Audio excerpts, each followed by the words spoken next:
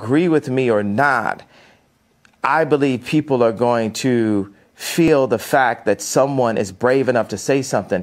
Every day I do five things that people have been historically killed for. Every day. And it's just, yo, I want to prove, first of all, I am Jew also. The 12 lost tribes of Hebrew. Do the math, do your research on it.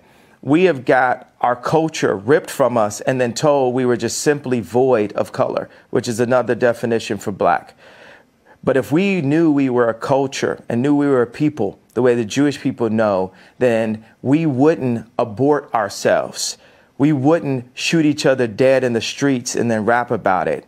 We wouldn't uh, brag about, you know, having sex with each other's wives. We would keep our families together and we would do business together. The most dangerous person for a uh, most dangerous place for a black person in America is actually in our mother's stomachs because 50% of black deaths a year in America is abortion currently. I mean, I can keep going, but I want to make it, hey, boom, well, yeah, well, ask no, me listen, questions, I, I, let's yeah, go.